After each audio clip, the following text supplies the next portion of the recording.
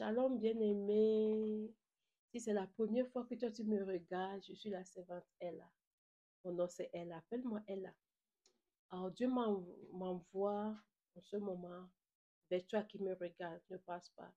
Dieu veut te parler. Il te disait que depuis que tu as pris la résolution d'obéir à Dieu, depuis que tu as promis à Dieu que maintenant tu vas mener une bonne vie, les choses deviennent dures pour toi. Depuis que tu t'es converti, les choses ne sont pas faciles pour toi.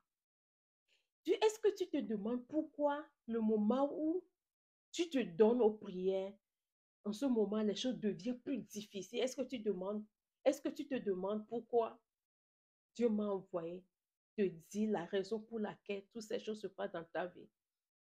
Je t'apporte la solution, bien la réponse à tes questions que tu te poses. Si nous voyons, ce- cela s'est passé dans la vie de notre grand-mère. Je sais très bien que tu connais l'histoire de Anne. Anne qui est dans la Bible, qui est la mère de Samuel. Avant que Anne ne mette au monde Samuel, elle était stérile. Et si nous voyons dans 1 Samuel 1, à partir de verset 6 à 27, je vais te lire ça. Et Nina, l'autre femme n'arrête pas de blesser Anne par ses paroles. Elle se moque d'elle parce que le Seigneur ne lui a pas donné d'enfant. Chaque année, c'est la même chose. Quand Anne va à la maison du Seigneur, Pénina lui dit des paroles blessantes. Alléluia. Pourquoi c'est lorsqu'ils vont dans la maison du Seigneur que Pénina lui blesse avec ses paroles? Pourquoi c'est dans la maison du Seigneur que Pénina fait ces choses? Et à chaque fois que Pénina fait ça, Anne ne fait que pleurer. Pénina fait ça pour la décourager, pour la distraire, pour qu'elle ne soit plus concentrée, elle ne soit plus focalisée sur, ce pourquoi ils sont là. Si Anne est concentrée, si Anne est focalisée sur Dieu, elle va avoir ce qu'elle demande. Mais Pénina fait ça pour la distraire. La Bible a bien précisé que c'est dans, à chaque fois qu'il vient dans la maison du, Seigneur, c'est à ce moment que Pénina la blesse. C'est à ce moment que Pénina fait tout et tout pour que elle soit ah, ah, ah, démoralisée. Ça, c'est les stratégies de Satan pour pouvoir éloigner quelqu'un de Dieu. Pénina fait ça pour que peut-être l'année prochaine, Anne va dire, oh, je ne vais plus aller dans la maison de Dieu. Parce qu'à chaque fois que nous allons là-bas, moi, je ne fais que pleurer. Je ne vais plus aller, je ne veux plus être blessée. Anne peut dire ça et rester à la maison. Et comment est-ce qu'elle va avoir son miracle? Ça, c'est des stratégies de Satan. Et à chaque fois que Pénina fait ça, Anne tombait dans ses pièges. Ça, c'est des pièges de l'ennemi.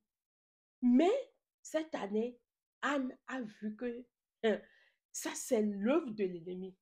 Elle n'a pas pleuré et, et, et s'éloigné de Dieu. Non, elle est partie dans le temple pour, pour prier et déverser tout ce qu'elle a sur le cœur devant Dieu.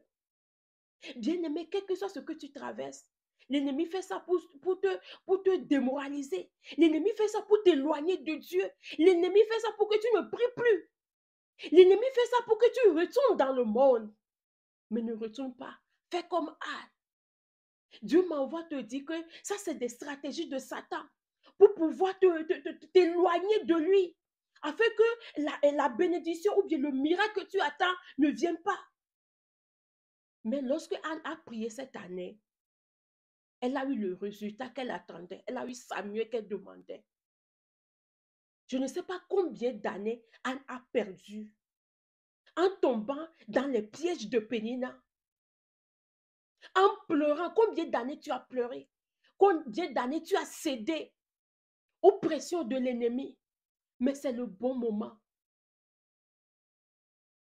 C'est le bon moment de te, euh, lever et de faire ce que tu sais, ce que Dieu t'ordonne à faire. Fais-le. Approche-toi de Dieu. Tu verras ton miracle. Que Dieu soit avec toi. Que Dieu te bénisse. Le Dieu qui a répondu à Anne, le Dieu qui a exaucé à ses prières, que Dieu t'exauce au nom de Jésus-Christ. Que cette année, tu reçois ton miracle, tu reçois ton Samuel. Que que soit ce que tu demandes à Dieu, je prie à ce que Dieu t'exauce au nom de Jésus-Christ. Sois béni, bien-aimé. Appelle-moi Ella. Sois béni, shalom.